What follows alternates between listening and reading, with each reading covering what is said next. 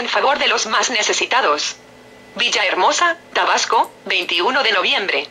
Al poner en marcha el encuentro de esposas de presidentes municipales electos, la maestra Marta Lilia López Aguilera, esposa del gobernador electo, Arturo Núñez Jiménez, llamó a consolidar un gobierno de resultados en beneficio de los grupos marginados, con el único objetivo de mejorar las condiciones de vida de los tabasqueños más necesitados.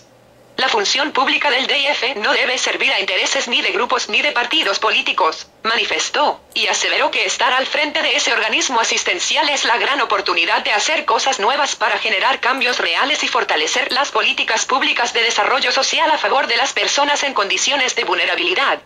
Trabajar para Tabasco no siempre implica construir una carrera política, manifestó la maestra Marta Lilia López ante quienes a partir del próximo primero de enero serán las próximas titulares de los DF municipales, a quienes exhortó a no olvidar que atenderán a gente en condiciones muy precarias y si no se trabaja en equipo no hay recursos que alcancen. La esposa del mandatario electo, destacó la necesidad de trabajar con el firme compromiso de resolver los problemas no por un corto lapso, sino de manera permanente, pensando en el futuro de quienes ahora están en condiciones precarias de vida. De lo contrario solo se generará rechazo social.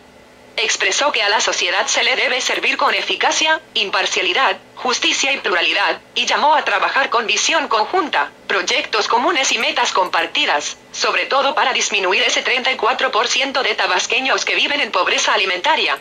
Luego de reconocer que la asistencia social es un trabajo imprescindible en el progreso de toda entidad, la maestra Marta Lilia López exhortó a las esposas de alcaldes electos a mejorar las condiciones de vida de la gente vulnerable y atender una mano, una palabra, un gesto a los